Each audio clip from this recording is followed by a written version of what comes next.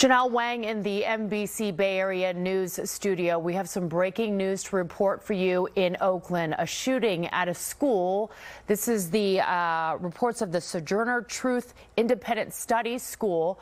Live pictures from NBC Bay Area Sky Ranger. You could see ambulance on the scene, lots of police on the scene. We spoke to the Alameda County Sheriff's Department, which confirms Oakland police asked them for assistance to come to the school to assist them with a school shooting. This is what we are hearing so far. Approximately 1 p.m., reports of shots fired.